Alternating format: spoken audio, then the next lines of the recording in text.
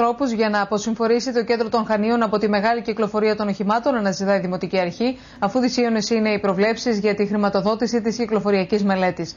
Κατά την σημερινή παρουσίαση της μελέτης ωφελημότητας του Minibus, τονίστηκε ότι από τους 3.689 ερωτηθέντες πολίτες, το 93% δηλώνει ικανοποιημένο από τον αριθμό των δρομολογίων, ενώ το 28% εξέφρασε την επιθυμία για επέκταση του δρομολογίου και σε άλλες γειτονιές της πόλης. Άκρο θετική ήταν η ανταπόκριση των Χανιωτών στην πρώτη περίοδο των δρομολογίων του Μινιμπάς. Σε παρουσίαση μελέτης ωφελημότητας και αποδοτικότητας των δρομολογίων, που πραγματοποιήθηκε από τις υπηρεσίες του Δήμου Χανίων, φάνηκε ότι οι δημότες όχι μόνο χρησιμοποίησαν το συγκεκριμένο μέσα μεταφοράς, αλλά επιθυμούν και την επέκταση των δρομολογίων και σε άλλες γειτονιές της πόλης. Ο στόχος μας είναι η αύξηση των επιβατών αλλά και η αξιοποίηση με άλλους τρόπους χρήσεως όπως είναι τα θέματα της προβολής. Α, βεβαίως τα λαμβάνουμε όλα υπόψη, λαμβάνουμε και το θέμα του αιτήματος και της τροποποίησης αλλά και το θέμα του αιτήματος για ενός δεύτερου δρομολογίου.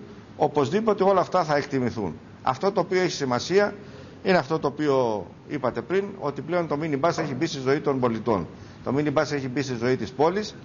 Έγινε μια προσπάθεια καταγραφής καταρχήν του αριθμού των πολιτών που χρησιμοποιούν αυτό το δρομολόγιο του minibus μέσα από το οποίο αποτυπώθηκε η ικανοποίηση αυτών με βάση ένα συγκεκριμένο ενός συγκεκριμένου ερωτηματολογίου όπως επίσης πρέπει να τονίσω ότι καταγράφηκαν και παρατηρήσεις, αλλαγές και αν θέλετε και προτάσεις βελτίωσης αυτής της διαδρομής.